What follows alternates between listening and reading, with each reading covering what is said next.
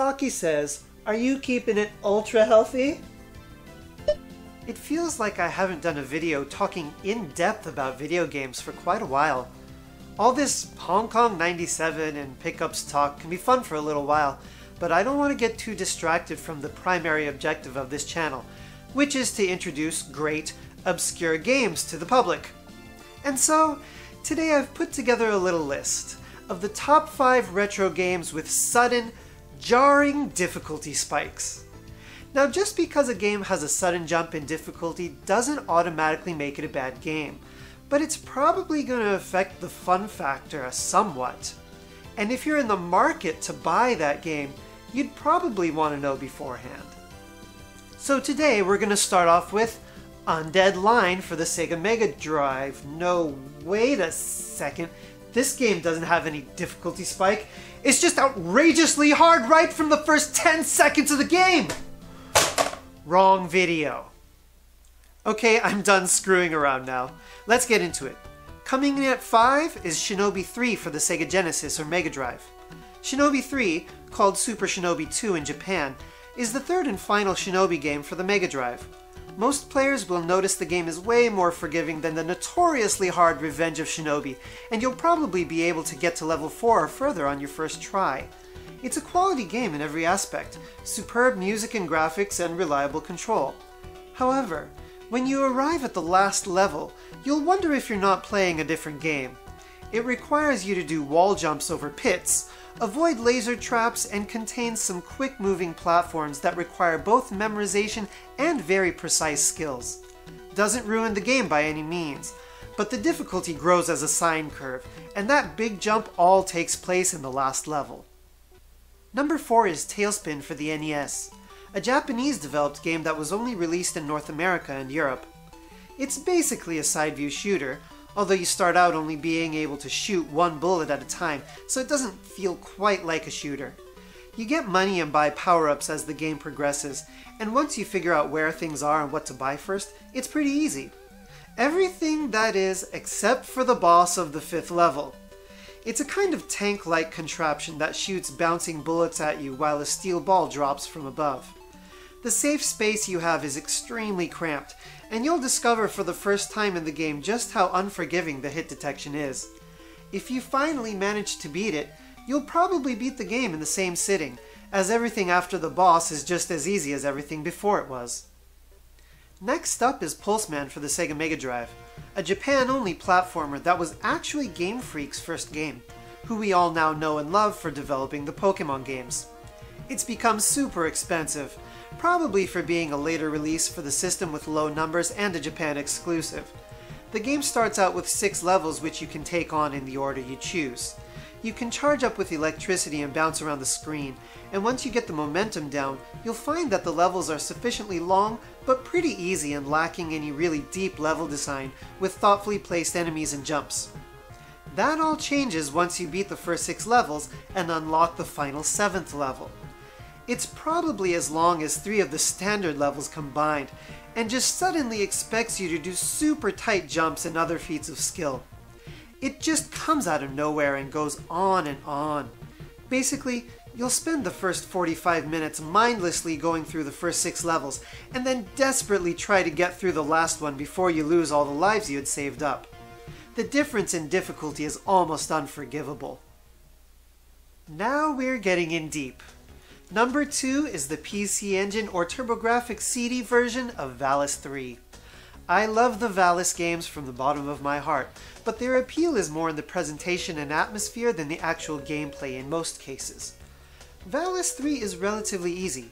You have a long life meter, there are plenty of power-ups along the way, and boss patterns aren't particularly complex.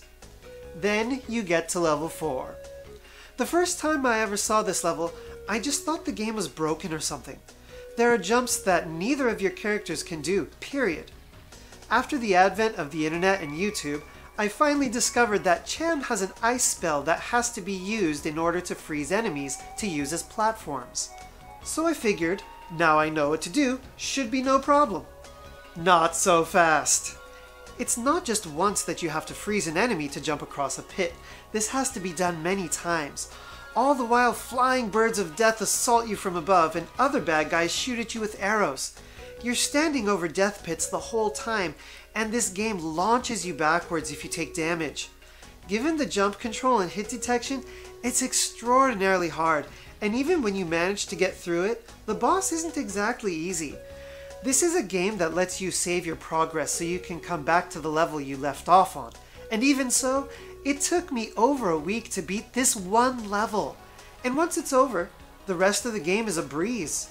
I don't comprehend how the developers could have playtested this even once and thought it was ready to be shipped. This is a truly legendary difficulty spike in gaming history.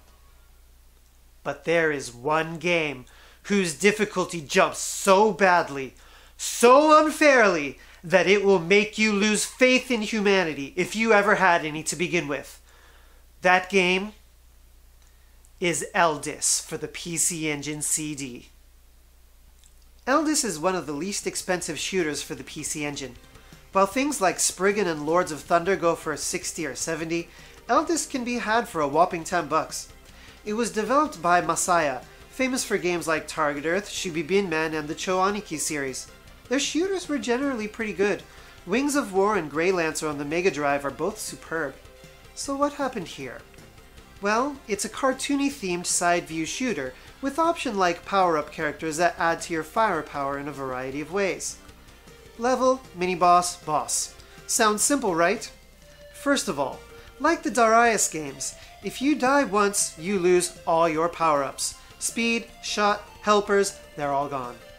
The helpers do respawn right there when you die, but their effectiveness is limited. The biggest problem is losing all your speed power-ups halfway through the game. Items come very infrequently, and the game plays like it expects you to be powered up all the way. Still, even a tiny bit of memorization should safely carry you through the fifth level. But most people shouldn't even bother, because if you get to level 6, you will be greeted by the most heartless, assholish, bullshit hard level I have ever seen. Squeezing through passageways while lasers fly at you, airtight moving blocks to navigate, and I can't even count how many mini bosses there are. Did I mention this is a one hit death game?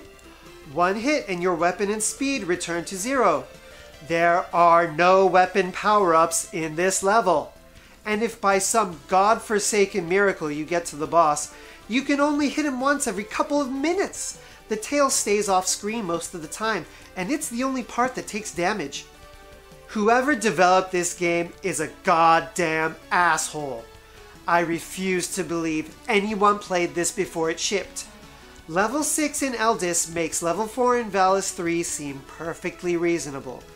It is truly the most legendary spike in difficulty gaming has ever seen. If any of you follow me on Twitter or Instagram, you may have noticed that I recently beat Eldis. Real hardware, no emulation, no save states. I traded a piece of my soul in for that accomplishment. Good children should by no means copy it. That caps off this list. Thanks a lot for sticking with me to the end. If you enjoyed the video, do please subscribe. There's lots more retro gaming fun coming up. And also check me out on social media. You can see me beating games on real hardware. Might be the motivation that you need. Links are down in the description. Thanks a lot, guys. See you next time.